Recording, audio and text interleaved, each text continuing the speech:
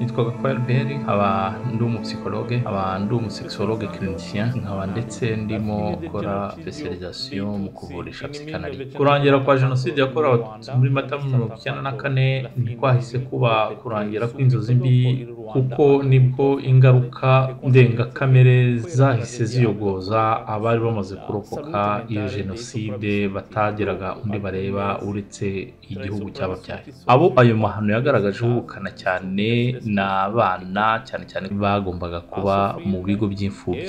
Ndetse byongera kugira ubukana bukomeye cyane ku bari barokotse b'abapfakazi ndetse n'abandi bantu ingimbi n'abakuru. Ku bw'amahirwe adasanzwe mu barokotse jenoside hari abagize amahirwe y'uko badahita bafatwa n'indwara. Jenoside ibaremamo ubudahangarwa bw'igitangaza bw'ubudaheranwa mu ndimi z'amahanga resilience cyangwa se resilience.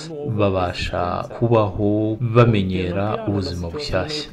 Nyuma haje agahenge ibintu bigenda bisa nk'aho bigaruka mu murongo cyane ko leta nta kitagerageje gukora inifashisha imiryango mpuzamahanga kugira ngo barebe uko bafasha abantu mu mpande zose z'ubuzima haba mu buvuzi haba ndetse no gushakira ababyeyi bakwakira abo bana bari bamaze kugirwa imfubyi na jenoside yakorewe abatutsi kubishyurira amashuri ndetse ntiyahagarariye aho ngaho bubakiye abari basizwe nanone bagizwe abapfakazi n'iyo jenoside yakorewe abatutsi. Ubukana bw'ihungabana bugenda bugabanyuka bunongera kugenda bugaruka kenshi mu kwezi kwa kane kuko ibihe byo kwibuka byabasubizaga ibubisi abarokotse guhangayika no kugira ubwoba ntibyabashizemo kuko bahoraga iteka ryose bikanga icyagaruka kimeze nk'icyabateye ubwoba cyabakuye umutima muri mirongo icyenda na kane.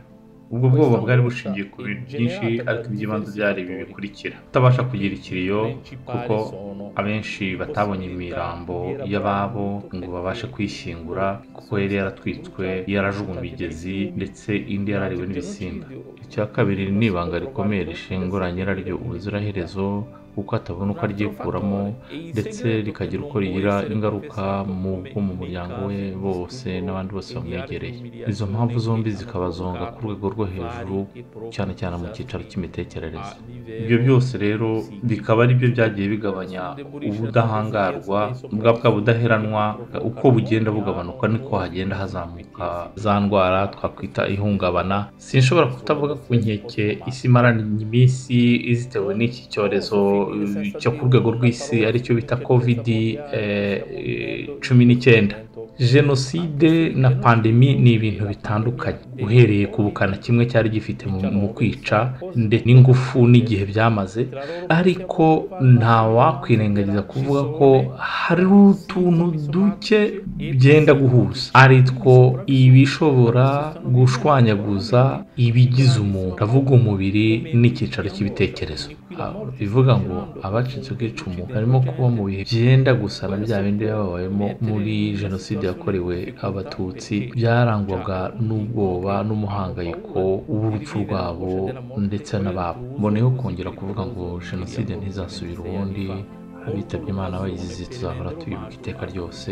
Mboneyeho kandi kwifuriza kurwara ubukira barwaye covid 19 nifatanije kandi n'imiryango yabuze ababo bazize covid 19 bana ibahe iruhuko ridashira